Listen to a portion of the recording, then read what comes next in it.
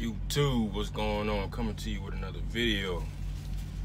It's been a while since I dropped a video, man. I've been tied up, man. It's been pretty crazy. But uh on the truck today, you know, uh I ain't been on the truck in a while. Um covering up some loads, you know, making some quick money, some easy money. But uh um just a little bit of update you know what I got going on. Uh, I decided to go ahead and take down the uh, the LP deal, so that's not happening no more. Somebody ruined that real quick, you know. So is the truck is no longer going to be lease purchased, and um, I'm okay with that decision. Um, we got other plans for the truck. Um, but anyways, on another note, for the title, uh, um, are you willing to do what it takes? You know, um, a lot of guys, or I don't want to say a lot of guys, a lot of people are trying to avoid the OTR. Um, everybody wants to get authority and be local. Um, or everybody wants to go to some of these carriers and be local um, some of these, and, and, not to throw shots at Landstar, but you know, I, I get a lot of call, I get a lot of calls from you know a few Landstar guys, and I, I, I understand what they're trying to do.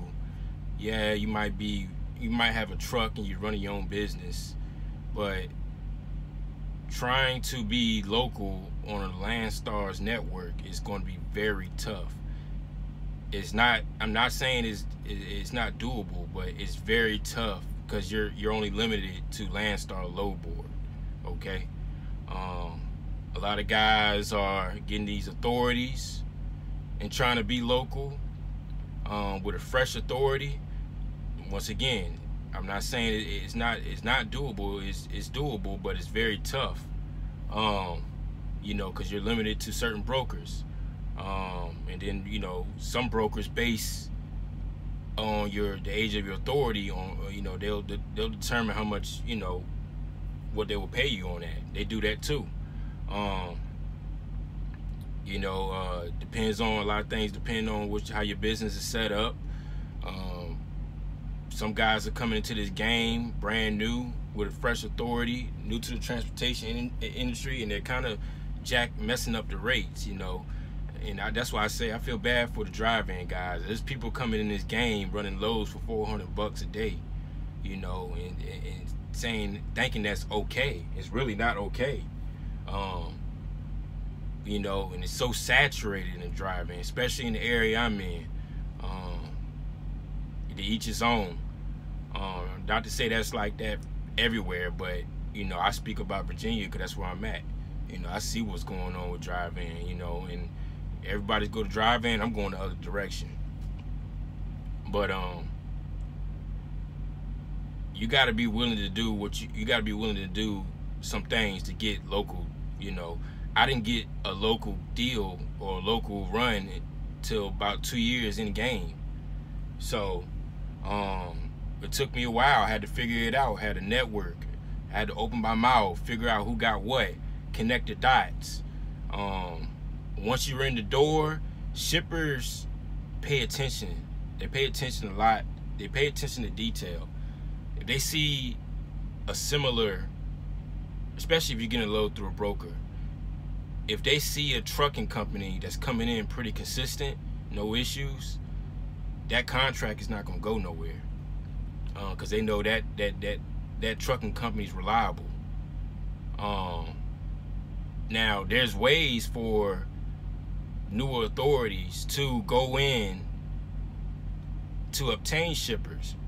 But you got to open your mouth. You know, you got to go in there and you got to, you know, throw your pitch. Um it's not that hard. You have to you have to speak up. A lot of people don't want to don't want to talk, but they want local lanes. Okay? You, well you got to open your mouth. You know, you got to say something. Um just because somebody says no, don't mean they gonna, you know, it's not gonna be no forever. You just keep asking. You know, so what you getting on their nerves? Um, don't matter. Just keep asking. You know, you'll get you'll get a local lane, but you got to network and you got to you got to speak up. Um, I'm starting to see, you know, a trend with this with the with the local thing. You know, it's cool to have local, you know, with authority. You know, being home every day, but it's kind of like a job in a sense. You know, um, it takes you back to if you if you ever been a local guy, company guy, it kind of takes you back to that where you you're pretty much getting up early, doing your uh, normal runs, and you know drop off the load, go home, and you're doing it again the same day the next day. You know, but um, it's good.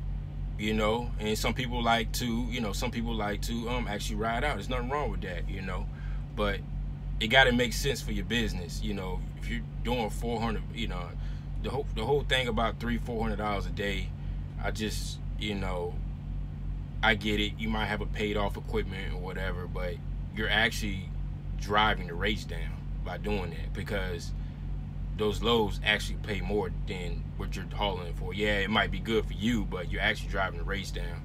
Um, just to say you're home every day. Um, but that's that's pertaining to more of the dry van. Um, reefer guys, you already know what's up. Um, you know, we're not doing no. I don't know any guy. To me personally, I don't know guys doing reefers doing 400 bucks a day. like that. That's ridiculous. But um, I, I'm not gonna keep this long either. But I'm just saying though, y'all guys gotta. The whole thing about this this video, local lane. Are you willing to do what it takes? you got to speak up. You know, you got to speak up and get what you want. You know, it's not gonna just fall in your lap. You have to network. You know, you got to connect the dots. You know, you might be able to get something that's three times a week. All right, we'll figure out the, the other two, two days. You know, connect the dots. Um, don't make it harder than what it is.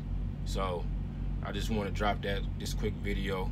Um, make sure I like, uh, like, subscribe, share the video, and uh, just think about just think about you know what you're trying to do. Just think about the type of business structure you want to have, and then build off of that. You know, if you're going to build your business off local lanes, you know, dedicated runs, then stick to that. That's how you that's how you grow. You know, keep working at it. Figure out, okay, I got a local lane set up already. All right, well, how long is this local lane gonna last? You know, sometimes it might be a month or two. Sometimes it might be a, a all year round contract. You know, but figure it out. You know, you got time when you're driving down these roads to think of think a lot, think about some things. You know, I think about a lot of things all the time. You know, everything. You know, I might not be right on everything, but you know, if I make a move on something and doesn't work out, then I go back to the to the to the pen and paper, and I figure it out. Um, this is part of being a business owner, you know. So just think about some of these things when um when you're trying to build your business. I'll catch y'all later.